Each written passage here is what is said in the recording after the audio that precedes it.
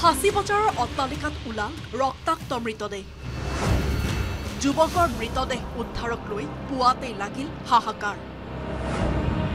বিল্ডিঙৰ খটখটিত মৃতদেহ উদ্ধাৰৰ পিছত তীব্ৰ চাঞ্চল্য। উত্তৰ পূবৰ ব্যৱসায়ৰ প্ৰাণকেন্দ্ৰ ফাঁচী বজাৰত পুৱাই লাগিল হাহাকাৰ। এজন সুঠাম দেহৰ যুৱকৰ ৰক্তাক্ত মৃতদেহ উদ্ধাৰ হোৱাৰ ঘটনাই সৃষ্টি কৰিলে তীব্ৰ উত্তেজনা।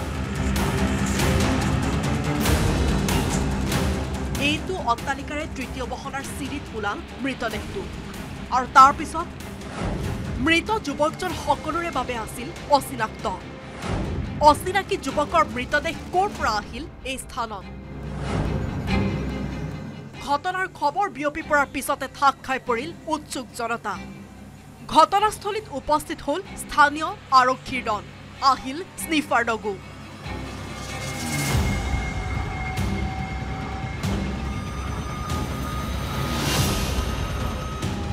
হয়। মৃতদেহ উদ্ধাৰ হোৱা এইটো পাতলীয়া মাৰ্কেটত আছিল ব্যৱসায়িক প্ৰতিষ্ঠান গুদাম আৰু দুই এঘৰ লোক।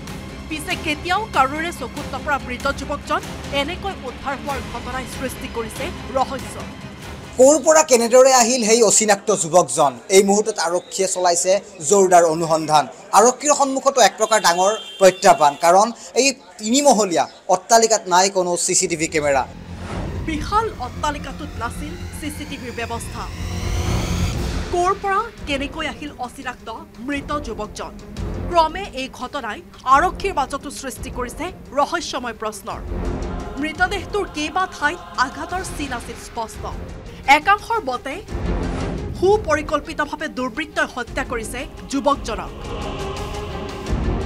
আন একাংশৰ মতে নিচাসক্ত অৱস্থাত চিৰিৰ পৰা পৰি মৃত্যু হৈছে এই যুৱকজনৰ। মৃতদেহৰ লগত উদ্ধাৰ হোৱা নাই কোনো সামগ্ৰী। পিছে এয়া হত্যা নে আন কিবা? কেতবোৰ ঘনঘোৰ ৰহস্যৰ মাজত এতিয়া সোমাই পৰিছে ফাঁচী বজাৰৰ এই ঘটনা।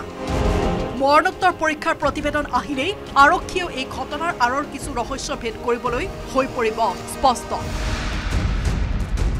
গুৱাহাটীৰ পৰা দীপাংকৰ দাসৰ report News Eighteen Assam North East.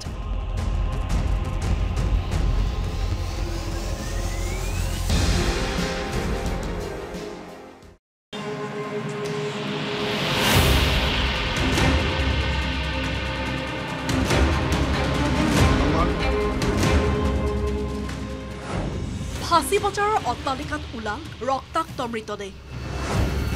যুৱকৰ মৃতদেহ উদ্ধাৰক লৈ পুৱাতেই লাগিল হাহাকাৰ। বিল্ডিঙৰ খটখটিত মৃতদেহ উদ্ধাৰৰ পিছত তীব্ৰ চাঞ্চল্য। উত্তৰ পূবৰ ব্যৱসায়ৰ প্ৰাণকেন্দ্ৰ ফাঁচী বজাৰত পুৱাই লাগিল হাহাকাৰ। এজন সুঠাম দেহৰ যুৱকৰ ৰক্তাক্ত মৃতদেহ উদ্ধাৰ হোৱাৰ ঘটনাই সৃষ্টি কৰিলে তীব্ৰ উত্তেজনা। অট্টালিকাৰে তৃতীয় বহলাৰ চিৰিত ওলাল মৃতদেহটো আৰু তাৰ পিছত মৃত যুৱকজন সকলোৰে বাবে আছিল অচিনাক্ত। অচিনাকি যুৱকৰ মৃতদেহ ক'ৰ পৰা আহিল এই স্থানত? ঘটনাৰ খবৰ বিয়পি পৰাৰ পিছতে থাক খাই পৰিল উৎসুক জনতা।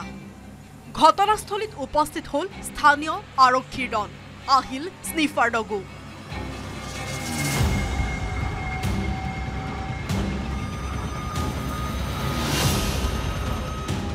হয়। মৃতদেহ উদ্ধাৰ হোৱা এইটো পাতলীয়া মাৰ্কেটত আছিল ব্যৱসায়িক প্ৰতিষ্ঠান গুদাম আৰু দুই এঘৰ লোক। পিছে কেতিয়াও কাৰোৰে চকুত নপৰা মৃত যুৱকজন এনেকৈ উদ্ধাৰ হোৱাৰ ঘটনাই সৃষ্টি কৰিছে ৰহস্য। ক'ৰ পৰা কেনেদৰে আহিল সেই অচিনাক্ত যুৱকজন? এই মুহূৰ্তত আৰক্ষীয়ে চলাইছে জোৰদাৰ অনুসন্ধান। আৰক্ষীৰ সন্মুখতো এক প্ৰকাৰ ডাঙৰ প্ৰত্যাহ্বান। কাৰণ এই তিনিমহলীয়া অট্টালিকাত নাই কোনো চি চি টিভি কেমেৰা। বিশাল অট্টালিকাটোত নাছিল চি চি টিভিৰ ব্যৱস্থা। ক'ৰ পৰা কেনেকৈ আহিল অচিনাক্ত মৃত যুৱকজন? ক্ৰমে এই ঘটনাই আৰক্ষীৰ মাজতো সৃষ্টি কৰিছে ৰহস্যময় প্ৰশ্নৰ। মৃতদেহটোৰ কেইবা ঠাইত আঘাতৰ চিন আছিল স্পষ্ট। একাংশৰ মতে সুপৰিকল্পিতভাৱে দুৰ্বৃত্তই হত্যা কৰিছে যুৱকজনক। আন একাংশৰ মতে নিচাসক্ত অৱস্থাত চিৰিৰ পৰা পৰি মৃত্যু হৈছে এই যুৱকজনৰ। মৃতদেহৰ লগত উদ্ধাৰ হোৱা নাই কোনো সামগ্ৰী। পিছে এয়া হত্যা নে আন কিবা? কেতবোৰ ঘনঘোৰ ৰহস্যৰ মাজত এতিয়া সোমাই পৰিছে ফাঁচী বজাৰৰ এই ঘটনা। মৰণোত্তৰ পৰীক্ষাৰ প্ৰতিবেদন আহিলেই আৰক্ষীয়েও এই ঘটনাৰ আঁৰৰ কিছু ৰহস্য ভেদ কৰিবলৈ হৈ পৰিব স্পষ্ট। গুৱাহাটীৰ পৰা দীপাংকৰ দাসৰ report News Eighteen Assam North East.